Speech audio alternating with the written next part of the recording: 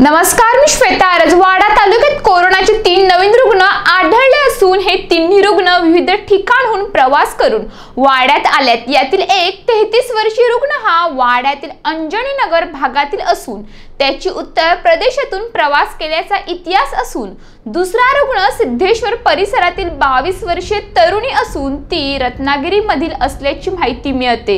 तर तिसरा रुग्ण वाडा तालुक्यातील गोरे येथील बारा वर्षीय मुलगी असून तिचा पनवेल येथे प्रवास केल्याचा इतिहास असून हे तिन्ही प्रवासी वाड्यात आल्यानंतर दहा मे रोजी त्यांचे स्वॅबचे नमुने तपासणीसाठी पाठवण्यात आले होते. हे तपासणी अहवाल कोरोना पॉझिटिव्ह आल्याने प्रशासन सतर्क झाले असून या रुग्णांना पालघरच्या ग्रामीण रुग्णालयात विलगीकरण कक्षात दाखल करण्यात आले. त्याचप्रमाणे या रुग्णांच्या संपर्कात आल्यांचा शोध प्रशासन घेत असून त्यांना क्वारंटाईन करण्यात येणार असल्याची माहिती वाड्याचे तहसीलदार डॉक्टर उद्धव कदम यांनी दिली आहे. दरम्यान पालघर जिल्ह्यात कोरोना रुग्णांची संख्या तीनशे पार झाली असून जिल्ह्यात आता एकूण तीनशे तेरा रुग्ण झाल्यात. तर आतापर्यंत तेरा जणांचा मृत्यू झालाय. तुम्ही पाहत राहा विकास समाचार ध्यास ग्रामीण विकासाचा नमस्कार.